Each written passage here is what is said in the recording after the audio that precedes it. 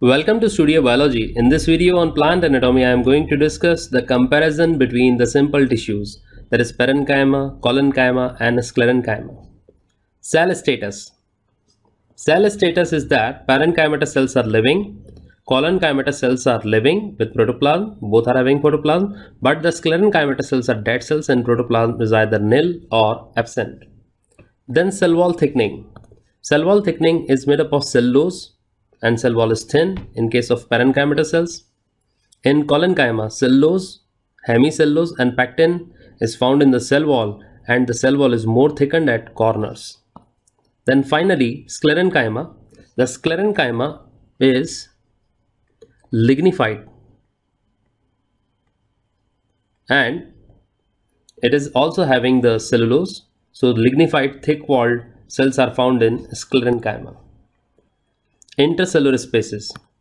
These are large or small depending on the type of parenchyma, absent in collenchyma, and these are also absent in sclerenchyma. The next is the cell shape. The cells are generally isodiametric. The cells are elongated in case of collenchyma and in cross section they may appear oval, spherical or polygonal.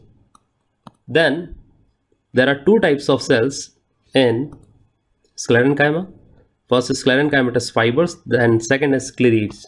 The sclerenchymatous fibers appear elongated and pointed, while the sclereids are spherical, cylindrical or oval with narrow lumen or cavities.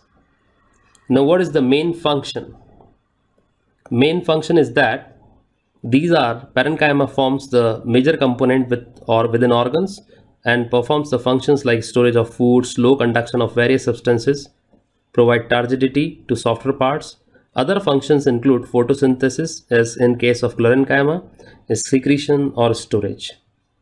Then in case of collenchyma, mechanical strength along with flexibility is provided to the growing parts of plant like young stem and petioles. These are also photosynthetic usually.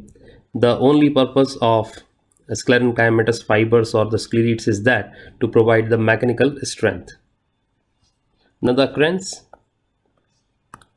major component of organs. It is found below epidermis and dicot stem to provide strength along with flexibility, while sclerenchyma is found in the pulp of guava, pears or sapota. The grittiness of pulp in guava or pears is because of the sclereids or stone cells. Fruit wall of nuts, leaves of tea and seed coat of legumes also possess the sclerenchyma. So this is all about the comparison between the simple tissues in plant. Thanks for watching this video.